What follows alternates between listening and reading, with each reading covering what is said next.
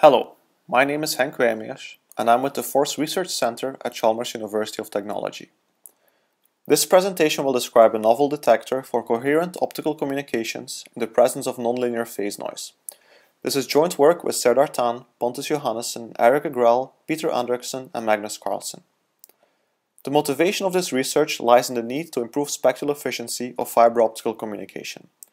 While current systems typically work with on-off keying, with its low spectral efficiency but simple hardware, researchers are now considering coherent communication with high-order modulation formats such as 16 QAM. However, such formats will require more sophisticated signal processing and are more susceptible to nonlinear effects in the fiber. The system we consider consists of multiple fiber spans with amplifiers in between. The optical signal is subjected to a number of effects. First of all, additive noise in the amplifiers. Secondly, dispersion in the fiber. And finally, nonlinear rotations due to the interaction between the fiber and the optical signal. Assuming the dispersion is compensated in the optical domain with dispersion compensating fiber, we have a simplified model shown below. The fiber loss and amplifier are assumed to cancel out, so all that remains is the nonlinearity and noise, applied successively per span.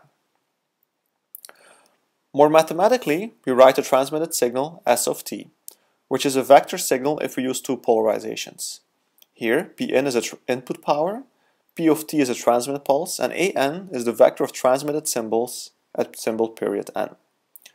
The input-output relationship of a single span is now quite simple.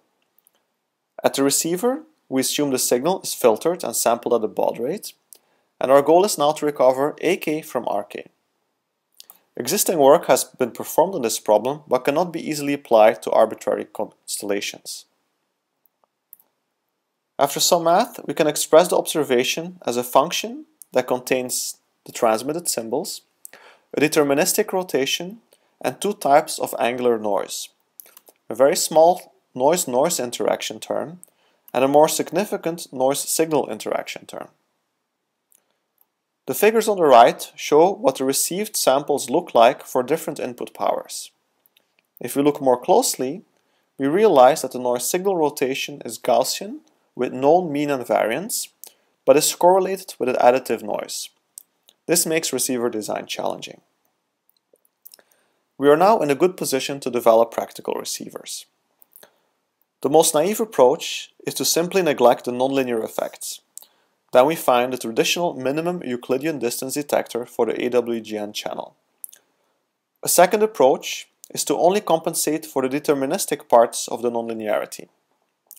A final approach, which is the one proposed in our paper, is to average out the effect of the noise signal phase rotation but neglect the correlation with the additive white Gaussian noise.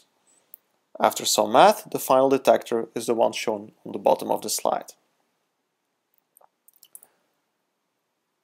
As a benchmark, we have also included a non-parametric detector, which operates roughly as follows. For every possible transmitted symbol, we generate many observations, say a couple of thousand.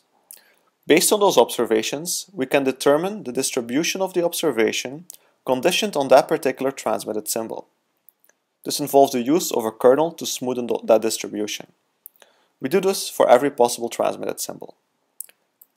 Then, when we get a new observation, we can evaluate its probability conditioned on every possible transmitted symbol and choose the most likely one.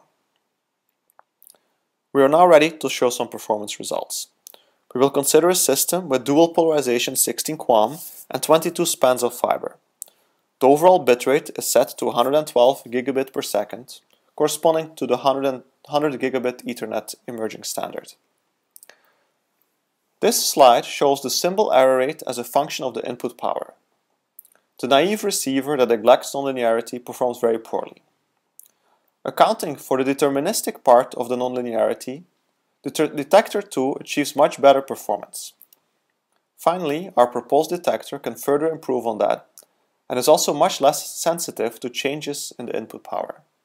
Furthermore, degradation with respect to the near optimal non-parametric detector is small. In conclusion, we have proposed a new detector for coherent optical communication in the presence of nonlinear phase noise. This detector is suitable for any constellation and exhibits near optimal performance for a wide range of input powers.